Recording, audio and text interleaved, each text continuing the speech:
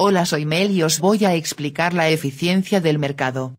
Tipos de mercado. Se pueden distinguir básicamente cuatro tipos de mercado en función del número de intervinientes y, relacionado con ello, de la capacidad de los mismos de influir en el precio. En la vida real los mercados suelen presentar al mismo tiempo características de varios de estos modelos, si bien uno de ellos suele ser, dominante. A. Competencia perfecta. Este tipo de mercado se caracteriza por, los productos que ofrecen los distintos vendedores son básicamente idénticos. A un comprador le dará prácticamente igual adquirir un bien a un vendedor o a otro. El número de compradores y vendedores es muy numeroso por lo que cada uno de ellos individualmente no tiene capacidad de influir en el precio. Se dice que son precio aceptantes.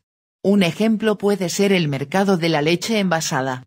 Cuando un comprador acude al supermercado encontrará normalmente una gran variedad de marcas de leche, de calidad prácticamente idéntica y de precios muy similares. Un productor no podrá vender su marca de leche a un precio muy superior al de sus competidores ya que el consumidor sustituiría esta marca por alguna de la competencia. B. Monopolio. En este tipo de mercado tan solo hay un vendedor por lo que, a diferencia el caso anterior, domina completamente el mercado y puede fijar el precio de sus productos. En algunos países sigue habiendo una única compañía de teléfono que controla completamente su mercado, fijando los precios de las llamadas. C. Oligopolio. En este tipo de mercado hay un número reducido de vendedores por lo que no tienen el control total que tiene el monopolista pero tampoco son meros precio aceptantes. Al ser un número reducido de vendedores cabe la posibilidad de que pacten entre ellos para tratar de fijar el precio que más les convenga, en perjuicio de los consumidores. Por ejemplo, el sector petrolófero está dominado por un número reducido de países productores agrupados en una asociación, cartel, llamada OPEP que ejerce un importante control sobre el precio del barril. D. Mercado monopolísticamente competitivo, hay muchos vendedores pero sus productos no son completamente idénticos, hay diferencias entre ellos. Por ello, al comprador no le dará exactamente igual comprar otro producto de la competencia. Esto permitirá a cada vendedor ejercer cierto control sobre el precio de su producto. Por ejemplo, las editoriales de libros. Todas ofrecen libro, pero cada libro es diferente. A un lector no le da igual comprar un libro de un autor o de otro sino que busca una obra determinada. Esto permite a las editoriales tener cierto margen a la hora de fijar el precio de sus libros. Eficiencia del mercado. La eficiencia de un modelo de mercado, ya sea competencia perfecta, monopolio, oligopolio o competencia monopolística, se puede medir a través del beneficio que obtienen compradores y vendedores.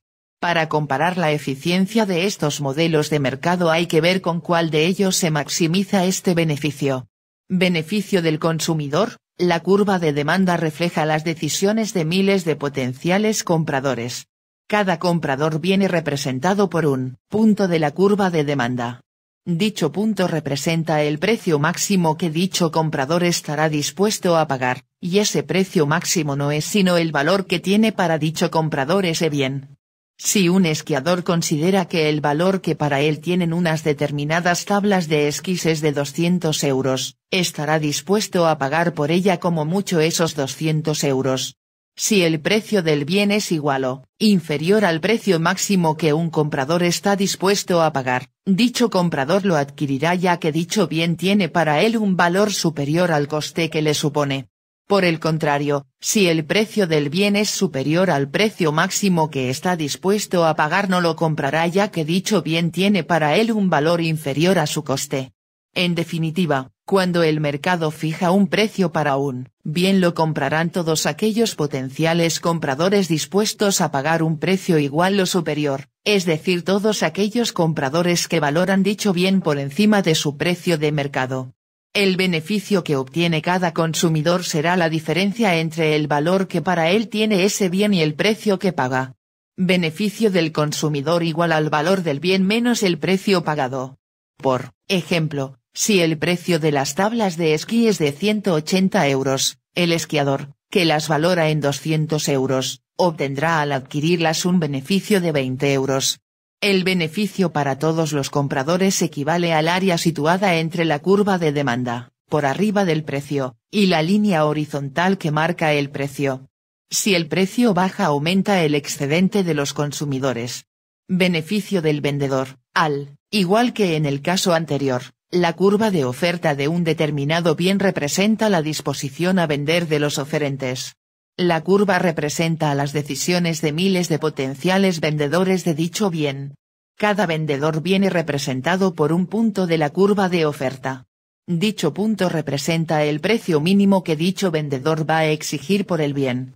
Ese precio mínimo que un vendedor estará dispuesto a cobrar será igual al coste que tiene para él la producción de dicho bien, incluyendo dentro de ese coste un coste de oportunidad, igual a aquel beneficio mínimo que le compense de asumir los riesgos de realizar dicha actividad y de haber invertido tiempo y recursos en ese negocio. Si el precio del mercado es igual o superior al precio mínimo que exige un vendedor, dicho vendedor estará dispuesto a vender ya que va a obtener un importe superior a su coste de producción. Por el contrario, si el precio del mercado es inferior al precio mínimo que exige un vendedor, dicho vendedor no estará dispuesto a vender ya que recibiría un importe que no cubriría su coste de producción.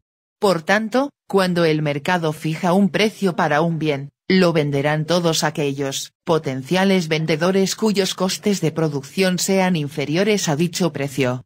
El beneficio que obtiene cada vendedor será la diferencia entre el precio que va a cobrar y su coste de producción. Beneficio del vendedor es igual al importe cobrado menos el coste del bien. Por ejemplo, si para un vendedor el coste de producción de un balón de fútbol es de 10 euros y lo vende en el mercado por 18 euros obtiene un beneficio de 8 euros. El beneficio que obtienen todos los vendedores equivale al área situada entre la línea que marca el precio y la curva de oferta por debajo de dicha línea. Si el precio sube aumenta el excedente de los vendedores. Beneficio total, es la suma del beneficio de los consumidores y de los vendedores. Beneficio total es igual al beneficio del consumidor más, beneficio del vendedor. Vimos anteriormente que, beneficio del consumidor es igual al valor del bien menos el precio pagado.